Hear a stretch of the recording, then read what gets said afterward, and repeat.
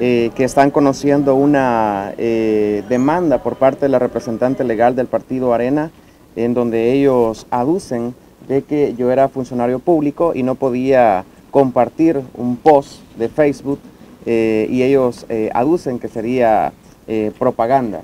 Sin embargo, en el momento en que yo comparto esa publicación, ya no era director nacional de atención a víctimas de inmigración forzada en el Ministerio de Justicia y Seguridad Pública.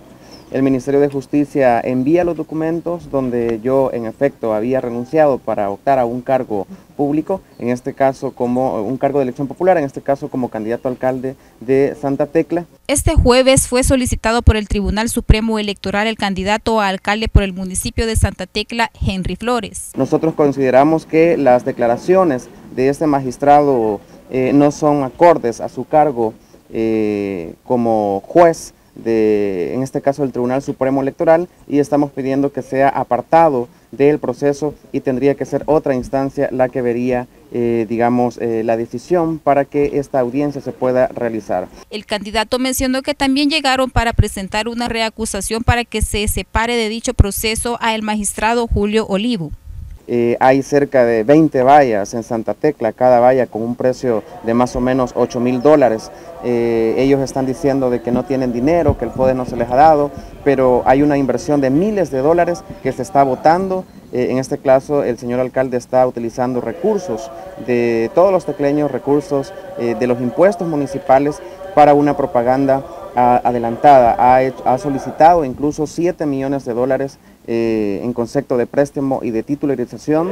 Es dinero que es obvio que le va a servir para la campaña electoral, pero en este caso el Tribunal Supremo Electoral no hace absolutamente nada. Igual el alcalde de San Salvador ha solicitado un préstamo de 30 millones de dólares, hay vallas de ambos alcaldes por toda la zona metropolitana eh, y el Tribunal Supremo Electoral, los magistrados no hacen absolutamente nada. Flores señaló que pondrán una contrademanda al actual edil Roberto Dawison por realizar campaña política adelantada.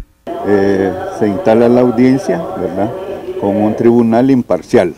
En este caso consideramos que eh, el tribunal no es imparcial por cuanto está un magistrado que eh, públicamente ha dicho que es opositor al gobierno, ¿verdad? Y por ende a todos sus candidatos a diputados y a alcaldes.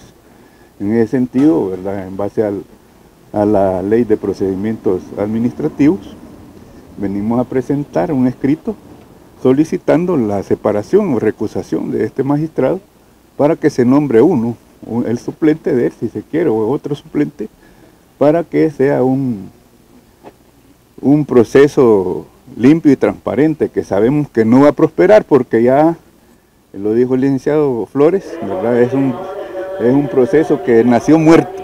Asimismo, el representante legal explicó cómo será el proceso para separar al magistrado Julio Olivo. El aspirante a alcalde por la comuna tecleña espera que esta situación no afecte su candidatura para los comicios del 2020, informó para ITV Griselda Marroquín.